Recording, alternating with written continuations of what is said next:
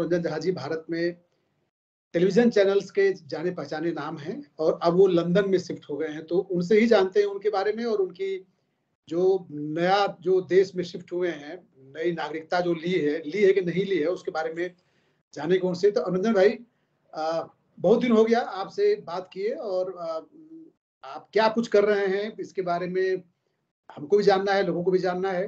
London कैसे पहुँचे कब पहुँचे? नमस्कार। यशवंत भाई आप तो जानते ही हैं कि प्रयोग हमारी एक बीमारी है आदत है और कुछ कुछ प्रयोग करते रहते हैं। लेकिन कई बार क्या होता है कि जब आप प्रयोग कर रहे होते हैं तो आपके परिवार के लोग भी प्रयोग करने लगते हैं। बिल्कुल।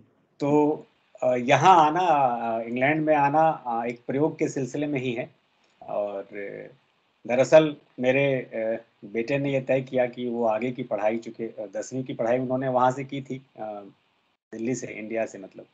अच्छा। और उसके बाद उन्होंने तय किया कि वो आगे की पढ़ाई ब्रिटेन में करेंगे।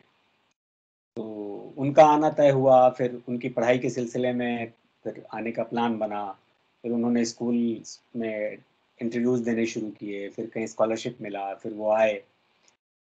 तो हम लोगों के यहाँ क्या है ना कि ख़ास तौर पे बिहार उत्तर प्रदेश में एक ये मानसिकता है कि बारहवीं तक के बच्चे को अकेले छोड़ने में थोड़ा सा माता पिता आ, वो करते हैं कि बहुत आ, ऐसा एज होता है कि उस एज में बनना बिगड़ना अगर हम लोग सही माने तो होता है। और साथ साथ दूसरी बात ये थी कि जब आने का तय हो रहा था तो कोविड का समय था। तो वो भी एक मन में डर था। तो हमने सोचा कि दोनों चीज़ें हैं। कोविड का भी काल है और उनका ग्यारहवीं बारहवीं की पढ़ाई भी है। तो हमने सोचा कि भाई चलिए हम भी चलते हैं। तो उस सिलसिले में तय हुआ लेकिन जब आए तो कुछ करना था।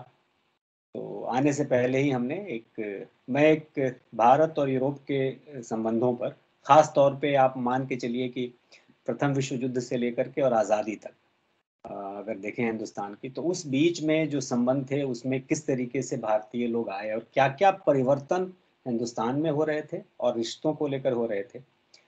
थोड़ा एक थ्रेड मैं आपको बताया चूँकि किताब उसी रिसर्च पे आधारित है और मूल मैं अभी नहीं बता रहा हूँ इसलिए कि थोड़ा सा वो छुपा के रखना है कुछ दिनों तक जब तक कि पब्लिक पब्लिशर के आप किस किस सन में जो है लंदन शिफ्ट हुए? मैं 2021 में आया दो साल पहले 2021 में आ गए आप जो है।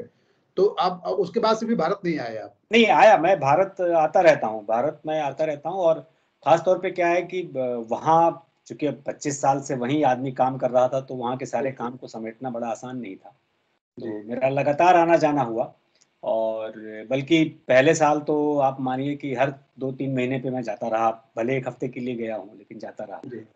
इस बार थोड़ा लंबा हुआ है क्योंकि समय कम मिल रहा है और जो प्रोजेक्ट हाथ में लिया है उसको भी सौंपना है उसको भी कंप्लीट करना है। प्रोजेक्ट मैंने किस तरह का है? वो कोई कहीं एक किताब है फंडेड है, है एक जर्मनी की पब्लिकेशन है उसके लिए एक किताब का कॉन्ट्रैक्ट किया हमने और अच्छा। वो किताब लिखना है और दरअसल उस किताब में एक बहुत बड़ा हिस्सा ब्रिटेन से जुड़ा हुआ है। तो रिसर्च करने के लिए मुझे ब्रिटेन आना ही था। दूसरा कोई ऑप्शन नहीं था। मतलब वो रिसर्च ऐसा नहीं था कि आप हिंदुस्तान में मैंने उसके लिए वो आपको जो है पे कर रहे होंगे स्कॉलरशिप दे रहे होंगे। बिल्कुल। ठीक बात है। तो यहाँ पे लास्ट आपका क्या असाइनमेंट था भारत में मीडिया में जो है उसके बाद? भारत में आप देखिए भारत में एक नौकरी से अलग होने के बाद आपको तो मालूम ही है कि हमने शगुन दुनिया का पहला मेट्रोमोनियल टीवी चैनल मैंने शुरू किया था।